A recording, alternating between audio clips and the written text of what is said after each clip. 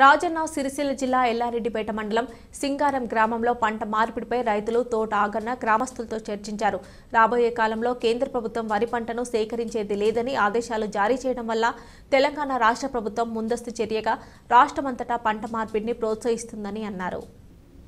TRS party Rajanna Sircilla ఇన్ఛార్జ్తో టాగన్న మాట్లాడుతూ మారుతున్న పరిస్థితులకు అనుగుణంగా రైతులంతా కలిసి ఒక కమిటీని ఏర్పరచుకొని పంట మార్పిడిపై సానుకూల నిర్ణయం తీసుకోవాలని వారికి ప్రభుత్వం నుంచి అవసరమైన మద్దతు అందిస్తామని అంకాపూర్ ముల్కనూర్ గంగదేవిపల్లి వంటి గ్రామాలను ఆదర్శంగా తీసుకొని అభివృద్ధి పథంలో కొనసాగాలని అన్నారు.